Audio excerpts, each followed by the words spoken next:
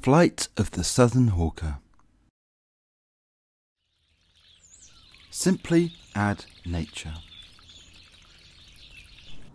So, welcome back to those existing subscribers to the channel. I hope you enjoy this exciting footage that we've got today of slow motion video showing Southern Hawker dragonflies in flight, something that I've been trying to capture for quite a long time now. It's quite difficult they move so fast and you need to have uh, a camera that's capable of doing lots of frames per second. So much of this footage is 200 or more frames per second so you can see every wing beat.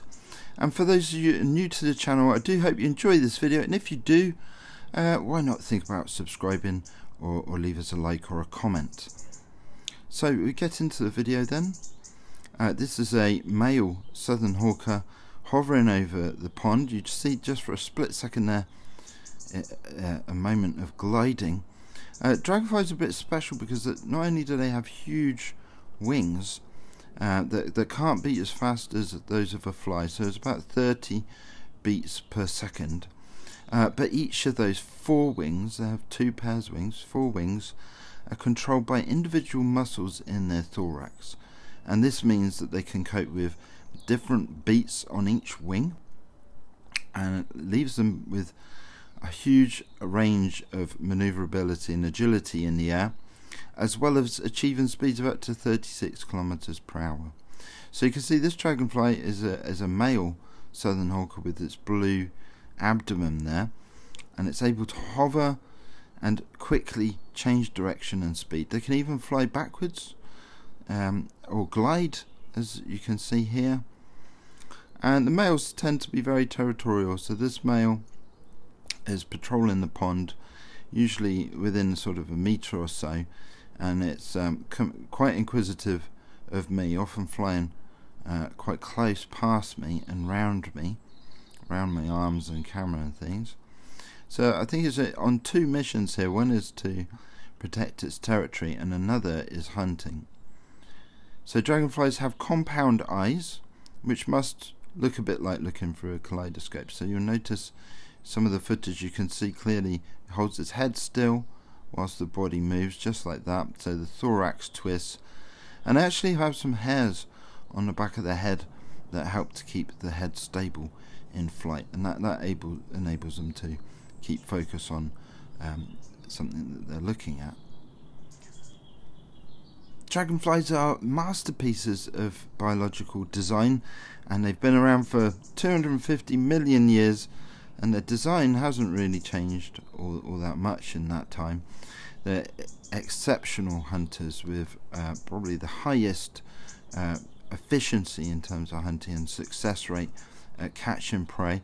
They're able to predict the movement of their prey, such as little flies and things, and intercept the prey rather than chasing them. Uh, so the, the, the, ability to fly fast is mainly to help them get away from predators rather than to chase or follow prey. So you can see here they hover looking around for prey and when they spot the prey they're able to predict the movement of their prey and then fly to intercept that flight path of their prey. As dragonflies beat their wings at that slower speed that I mentioned, even though they're very large wings, they make very little sound at all, almost flying silently. Now these southern hawkers like to get in amongst the vegetation and you will often hear a clatter of the wings as they sort of force their way between leaves and branches and things. They do make quite a bit of noise clattering their wings against things.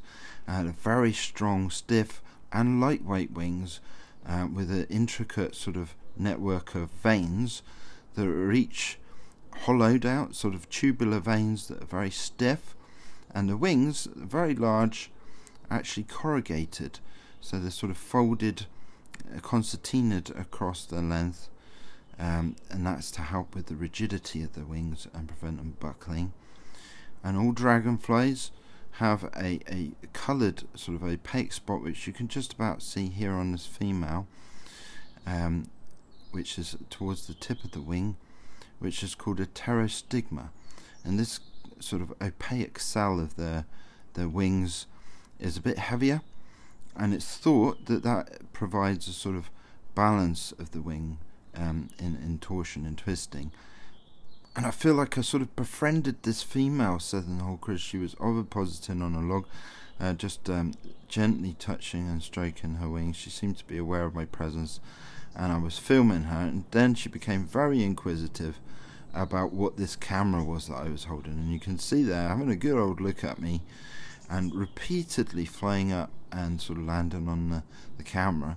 And she's looking straight at us there. That's a face to terrify any fly. And dragonflies can actually capture their prey and eat it mid flight. And also, you can see just then underneath the thorax, the, the sort of body behind the head, you can see the legs of the dragonfly tucked away like an undercarriage folded on a folded away underneath a, an old-fashioned airplane there. So yes, the female will fly around a pond and and lay her eggs on any vegetation or, or wet logs particularly, and sort of she has a sickle-shaped or um, hook-shaped uh, hook on her abdomen, which she can press into wet logs.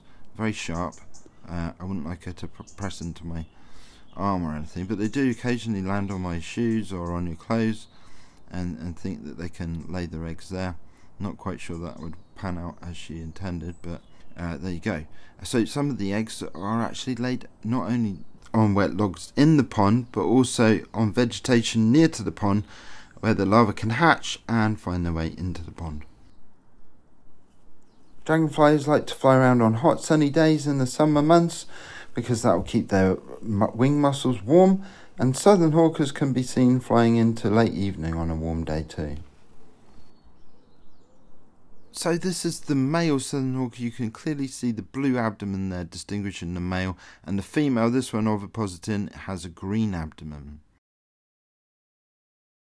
Well, thank you very much for watching this video. I hope you did enjoy uh, the footage. If you did, don't forget to leave a like and subscribe.